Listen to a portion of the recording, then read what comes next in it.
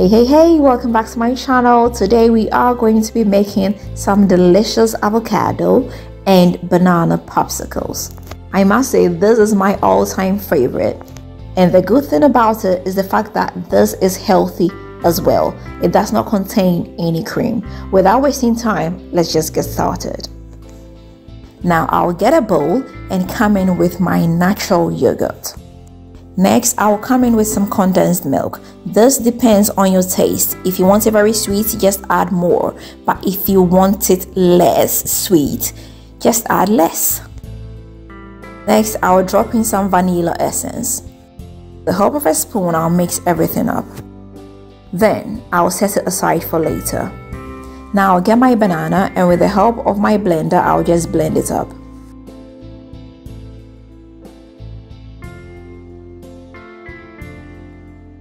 I'll drop in a little bit of color yellow. This is optional.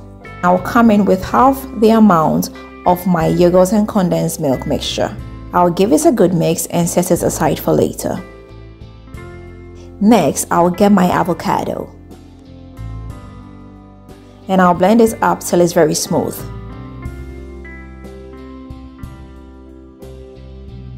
I'll pour in the remaining of the yogurt and condensed milk mixture.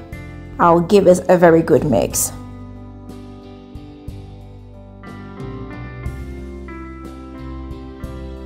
Here I've got my silicone molds and I'll just transfer the mixtures into the molds.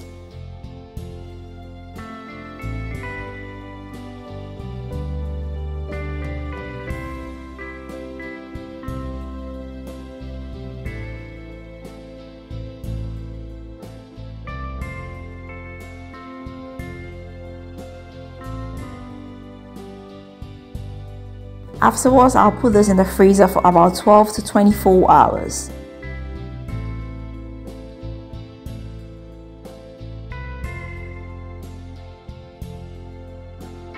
I see I've got some remaining, so I'll get a cap and put this inside. I'll start with the avocado.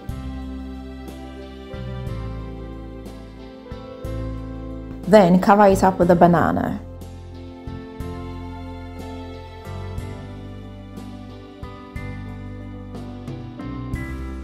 I'll put a stick in it and put it in the freezer as well.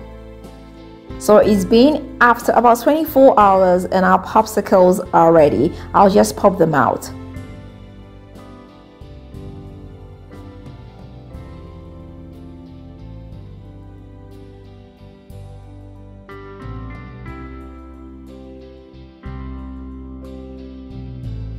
This is the one I put in the cup.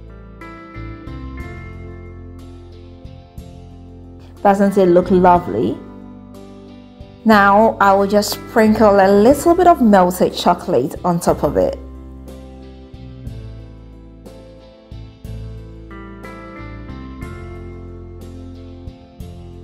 And these are ready to be eaten. I'm making this so much because they are healthy and they are so easy to make as well. Most importantly, they are very delicious.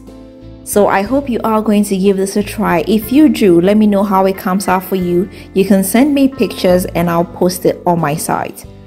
If you've not subscribed, please don't forget to hit the subscribe button and don't forget to click the bell icon so you'll be the first person to be notified whenever I upload a video. Until next time, I am going to see you again with another nice and interesting one. Bye bye.